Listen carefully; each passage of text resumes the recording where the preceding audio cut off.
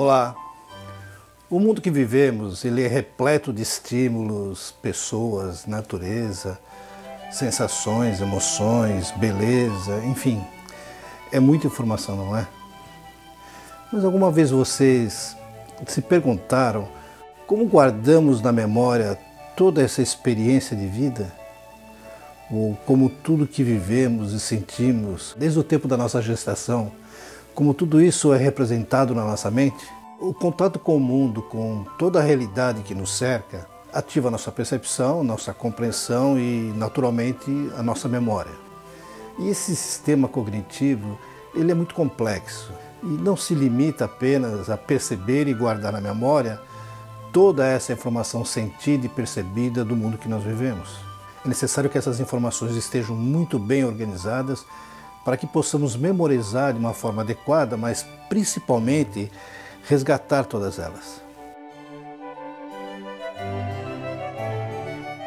Embora muito tenha se estudado e escrito sobre o processo mnemônico, o gerenciamento de todas as informações que registramos, ainda existem algumas dúvidas.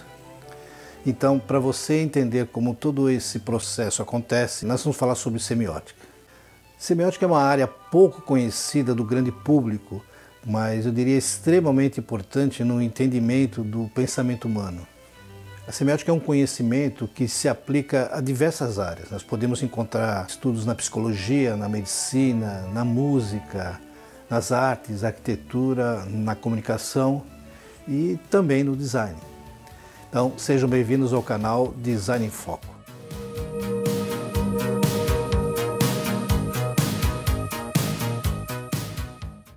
A semiótica é o estudo do gerenciamento de todas as informações, conceitos e significados daquilo que percebemos e que depois fica registrado na nossa memória. A articulação dessas informações ela vai se dar através de signos.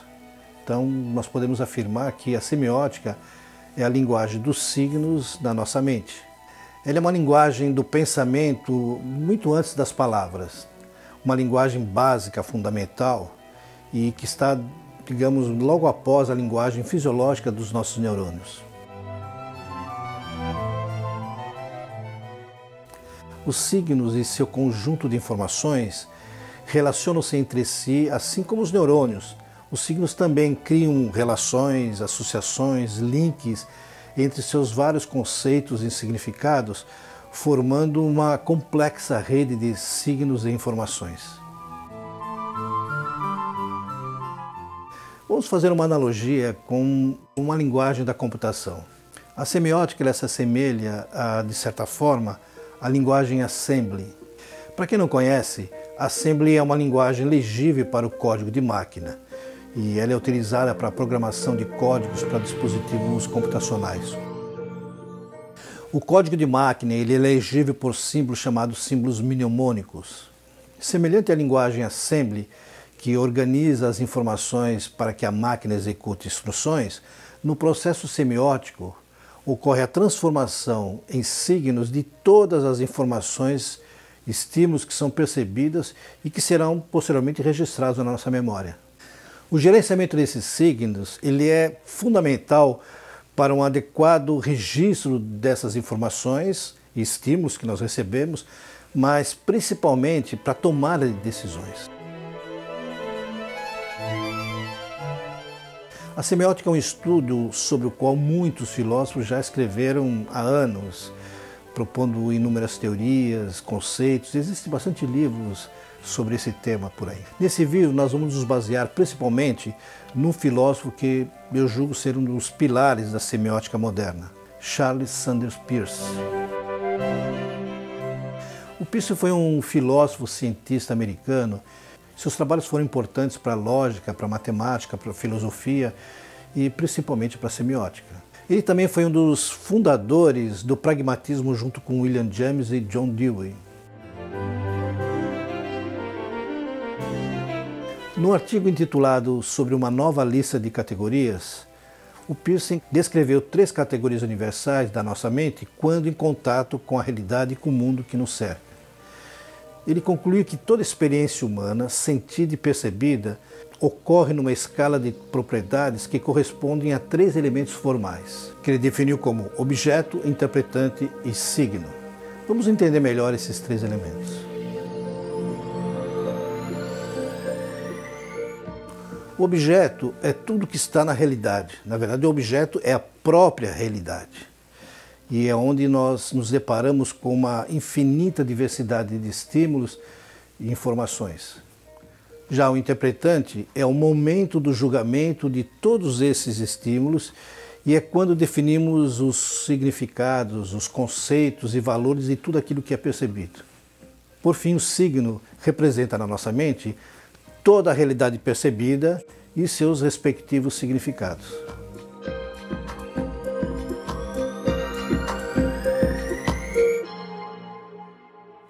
O processo de transformação de informações até se tornarem signos é chamado de semiose. Guarde bem esse termo. Como dissemos, os signos representam em nossa mente tudo aquilo que existe e acontece na realidade percebida pelos nossos sentidos, pela audição, o tato, o paladar, olfato e visão. Os signos também articulam todas as informações que estão relacionadas àquilo que é percebido. Isso quer dizer que os signos se conectam uns com os outros por meio dessas informações, de conceitos e seus significados.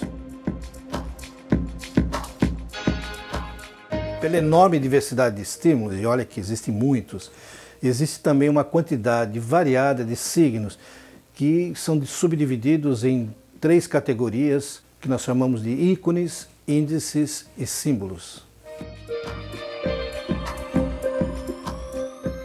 Os ícones são signos cuja característica está acima de uma simples representação pré-estabelecida. Ele representa qualidades, emoções, sensações. Os índices são signos que nos levam a outros signos ou fazem parte de outros signos mantém uma relação com algo que ainda pode vir a acontecer. E os símbolos são representações definidas por uma regra ou uma convenção coletiva de algo. Não podemos esquecer que, como o signo se estabelece na nossa mente logo após a percepção e julgamento, cada pessoa constitui um tipo de signo e os seus significados. Isso ocorre por meio de nossas experiências perceptivas, o contexto e todas as informações que podem estar relacionadas com essas experiências. Um signo representado na mente, ele nunca vai ser o mesmo para outra pessoa. No máximo, ele pode ser semelhante. Isso porque cada pessoa tem uma experiência de vida distinta, particular. Um ícone, por exemplo, terá informações particulares para cada pessoa que perceber a mesma coisa. Obviamente, porque cada pessoa vai ter experiências bem diferentes para essa mesma coisa. Vamos ver um exemplo disso. Para os cristãos, a cruz representa na sua mente um ícone, pois transcende as propriedades de um, de um simples objeto. Ela tem um contexto histórico que está relacionado ao sacrifício de Cristo entre os cristãos, ela provoca emoções diversas. Já para um judeu, a cruz é simplesmente uma referência de um cristianismo, portanto, representado na mente como um símbolo dessa religião. Para um budista que, digamos, nunca teve contato com a cultura ocidental, a cruz pode representar na mente um símbolo de algo que já existe na sua cultura, algum objeto que tem uma característica semelhante a objetos cruzados. Agora imagine essa cena. Dependendo do contexto, a cruz poderá ser representada na mente como um índice de algo que pode surgir nos céus. E dependendo da emoção e da experiência, até como um ícone. O contexto e nossas experiências são muito importantes na definição de significados e conceitos e, consequentemente, de um signo. O processo de semiose ocorre no momento da percepção, da definição dos significados e conversão desses significados e informações em signos. Nesse momento, no momento da representação das informações em signos, vai acontecer o seguinte: a classificação, que define a ordem de importância dos significados estabelecidos num determinado momento, ou se ajustam com outros significados já existentes. A codificação, que determina quais signos estarão vinculados a cada significado e as ligações com as informações relacionadas àquilo que é percebido. E a organização, que estabelece instruções na memória para armazenar os signos definidos com os seus respectivos significados, conceitos e valores. Mais do que o simples estabelecimento de signos, a semiose é um processo de gerenciamento de todas as informações que percebemos. E nesse momento que ocorre a semiose, a memória também é ativada e influencia essa percepção. Podemos, portanto, alterar os significados estabelecidos no momento do julgamento ou de definição de conceitos, e esse é um processo contínuo, memória e semiose se ajustando a cada momento da percepção. É muito comum nós afirmarmos que tal coisa tem um significado. E normalmente nós passamos essa informação a alguém como se fosse uma verdade. Então, se preparem. As coisas não carregam significados. Pode parecer estranho isso, né? Então, vejamos. Quando percebemos algo, definimos um significado a ele a partir da nossa experiência. Isso é decorrente do julgamento que fazemos do, e do contexto onde esse algo está inserido. E aí afirmamos, tal coisa tem um significado. Isso é comum dizer, né? No entanto, outra pessoa nas mesmas condições não dará o mesmo significado, pois suas experiências, seu ponto de vista vai ser diferente. Isso, como eu disse anteriormente, faz parte do julgamento que fazemos daquilo que percebemos. Podemos concluir que os significados não acompanham as coisas. Os significados são formados subjetivamente no momento dessa percepção e ficam registrados na nossa memória. É evidente que podemos reformular esses significados a qualquer momento. Isso vai depender de inúmeras variáveis, tais como uma nova maneira de percebermos alguma coisa, né, um novo ponto de vista, o contexto onde essas coisas estão inseridas, novas experiências de vida que vão se somando à nossa existência, a interferência de outras pessoas e assim por diante. O significado que damos a algo se relaciona com um tipo de signo, mas esse significado pode também estar vinculado a outros signos semelhantes ou não. Por exemplo, quando dizemos que alguém tem a beleza de uma flor, esse alguém e a flor são representados por signos distintos com significados também distintos, mas que podem se ligar no mesmo significado que a beleza. Essas combinações, associações são comuns e fazemos isso constantemente, porque todos os signos estão ligados como uma rede. Com o processo de semiose dinâmico, Após definirmos os significados, o processo pode ser alterado. Não apenas uma nova percepção ou redefinição de significados, mas também numa nova definição na nossa mente de um outro ou novo signo. Isso quer dizer que, por exemplo, um símbolo pode ser redefinido para ícone e vice-versa. Já os índices estão sempre se alterando ou para ícone ou para símbolo. Isso pode parecer confuso, não é? Eu vou aproveitar o exemplo da cruz já dado anteriormente para ficar um pouquinho mais fácil. Para um budista ou qualquer outra religião que não o cristianismo, a cruz é representado na mente como um símbolo. No entanto, se esse budista se convertesse por fé e crença ao cristianismo, ele começaria a perceber e jogar a cruz de uma outra forma. O efeito que a mesma provocaria nele seria emocional e relacionado à sua fé, adoração e culto então, de símbolo, a cruz passaria a ser representado na sua mente como um ícone. Vamos a outro contexto com o mesmo objeto. A cruz numa igreja, para os cristãos, pode também indicar a presença de Cristo na igreja. Nesse caso, a cruz seria também representada na sua mente como um índice. Para um não cristão, essa mesma cruz poderia ter a representação de um símbolo, ou até um índice de onde está o altar. Percebe como os significados e signos se alteram na mente? E isso de acordo com quem percebe o contexto e as nossas necessidades, principalmente de tomada de decisões. Agora imagine que você está num campo, numa floresta, e de repente ouve um som que parece ser de um rugido. Dependendo do som, do volume, isso poderia indicar que você está próximo de um animal, talvez de um animal de grande porte. se você já conhece esse animal, esse som, que fazer. Se você já teve alguma experiência com esse som, uma boa alternativa é correr o mais rápido possível dali, não é? O som ou rugido pode representar na sua mente um índice, um indicativo de que é possível que um tigre, leão ou qualquer outro felino esteja por perto. Na sua mente, esse índice ativa um ícone de perigo. Caso você tenha tido uma experiência traumática ou mesmo teve informações da ferocidade e perigo desse animal, ou que esse animal representa, um bom, uma boa alternativa, como eu disse, é correr. Né? O medo é uma forte qualidade despertada por esse felino, por isso um ícone.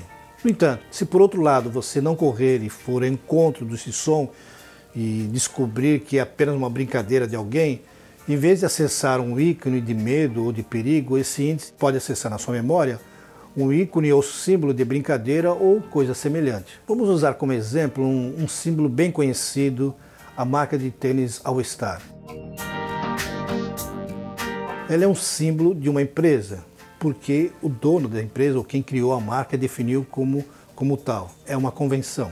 No entanto, para algumas pessoas, essa marca pode ser representada na mente não apenas como um símbolo, mas também como um ícone, representando muito mais do que a marca de tênis, mas também como um estilo de vida, liberdade, reverência e por aí vai. Ou simplesmente um símbolo de um, de um grupo de pessoas, né? de um estilo de vida. Perceberam como a semiose é dinâmica? Ela engloba todo o processo que vai desde a percepção até a definição de signos, ativando todo o nosso processo mnemônico. Esse dinamismo da semiose nos ajuda também a revermos constantemente nossos julgamentos. Isso não significa que nós vamos fazer, né? mas essa é a possibilidade de acontecer. Os signos estabelecidos na nossa mente possibilitam acessarmos imediatamente a nossa memória, para que possamos agir com rapidez e precisão. Isso ocorre para que possamos ter um mínimo de erro e mais assertividade nas nossas decisões e ações. Você pode estar se perguntando como a semiótica pode ser importante no nosso dia a dia. Podemos usá-la em diversas situações. Para a área médica, a semiótica é importantíssima eh, nos diagnósticos, na identificação de doença, por meio das informações que nos levam aos signos. Podemos usá-la para obtermos resultados incríveis na área das artes aplicadas, na elaboração de projetos, de, de objetos e peças artísticas, no sentido de provocar algum tipo de reação no espectador.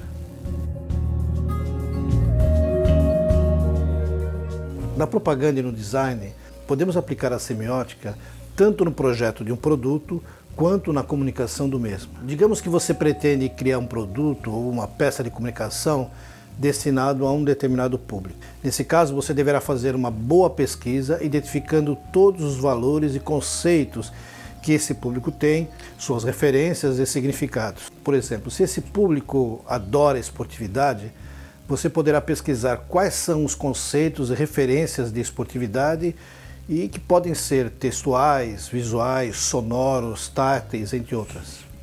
Quanto mais variadas em termos de estímulos forem essas referências, mais informações de qualidade teremos. Montamos um painel semiótico com todas as referências e significados semânticos. No processo de criação, usamos essas referências, as mais relevantes, as mais impactantes, para que elas se conectem com os signos e significados que estão na mente do público. Ao se deparar com um produto ou anúncio, o público criará uma conexão, pois essas referências ativarão os signos correspondentes que estão na memória. Haverá um processo de identificação. O que foi criado ficará registrado na memória e vinculado aos signos e significados correspondentes. Esportividade, produto. Uma empresa cria uma marca e gostaria que o público percebesse nessa marca certos valores, conceitos e significados. Bom, querer não significa necessariamente que vai acontecer. Essa empresa terá que fazer um, um longo trabalho de convencimento e de comunicação para que as pessoas percebam nessa marca os significados que a empresa gostaria que tivesse. Em marketing, isso é chamado de branding, ou seja, construção de marca. Essa marca na mente do público será inicialmente um símbolo dessa empresa, poderá ser um ícone, dependendo do tipo de esforço que essa empresa fizer junto a essa marca e o público. Bom, espero que essa breve introdução à semiótica tenha sido útil e esclarecedora. Eu vou deixar aqui alguns links para que vocês explorem um pouco mais esse tema, mas é claro, eu estarei sempre aqui à disposição para tirar algumas dúvidas e discutirmos mais sobre esse tema. Pretendo elaborar um outro vídeo ou mais vídeos uh, com mais exemplos e aplicações para ajudar um pouco mais vocês a entenderem como é possível aplicar a semiótica de uma maneira mais efetiva. Não se esqueçam de inscrever nesse canal se vocês gostaram desse vídeo. Nos vemos no próximo vídeo.